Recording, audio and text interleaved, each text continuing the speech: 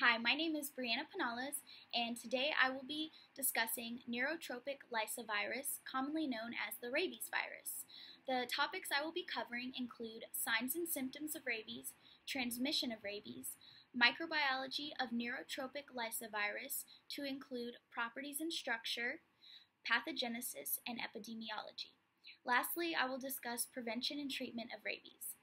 Rabies is a viral infection of animals transmitted to humans uh, through animal bite wounds. The signs and symptoms include flu like symptoms such as headache, fever, weakness, as well as mood changes such as confusion, agitation, um, anxiety, and several others. Transmission typically occurs uh, from the bite wound of a rabid animal, but can also occur from infectious materials such as saliva, as well as inhalation of aerosolized rabies virus.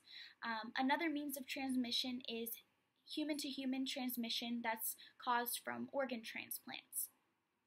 Microbi- uh, the microbiology of the virus uh, comes from the genus Lyssavirus and the family Rhabdoviridae, um, it's a negatively single stranded bacteria, and its genome includes five proteins, and the structure includes helical ribonucleic protein core as well as a surrounding envelope. Um, the virus typically travels from the site of the bite wound to the central nervous system and then to the brain via nerves. Once it's in the brain, the virus will multiply, um, causing inflammation of the brain, and this is when symptoms typically begin to present themselves.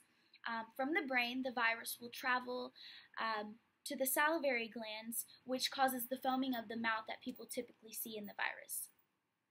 Um, the epidemiology, 90% of the cases reported to the CDC annually occur in wildlife, and this is because the uh, principal hosts of the virus include wild carnivores as well as bats. Um, deaths have declined from 100 to 1 to 2 deaths per year and fatality occurs mostly in those who do not seek medical attention, um, and this is typically because people are just unaware that they even have the virus. Um, as a means of prevention, um, it's recommended that people vaccinate their pets for rabies, um, and this is because 7,000 to 8,000 of the cases that are reported annually um, are animal related cases.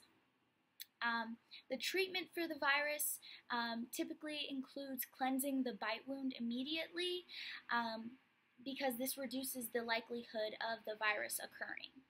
Thank you for watching. Bye.